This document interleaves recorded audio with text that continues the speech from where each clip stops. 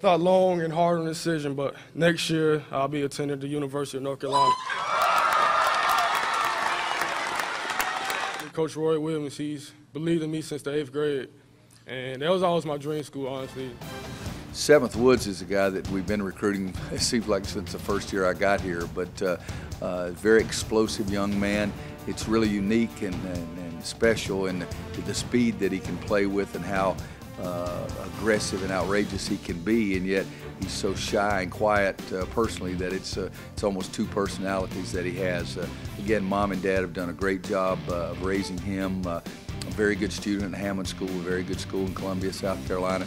the teachers and the principals, everybody just loves him to death. But he's got some explosiveness as a player that we haven't seen since Ty Lawson, and he has that ability to go full speed at an instant, and uh, he can push the ball up other people's back even after a made field goal and uh, put a lot of pressure on the defense. His shot is getting better and better. He's made as many as eight threes in a game, and yet that's nowhere near the, the strength of his game. His strength is uh, taking the ball to the basket and on the defensive side of the ball, but uh, we're really ecstatic to have seventh part of our program.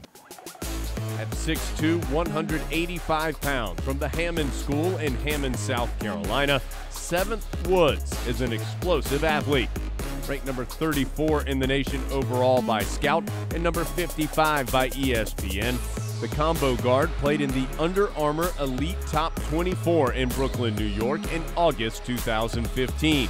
He also earned a gold medal in 2013 playing with the U16 U.S. national team.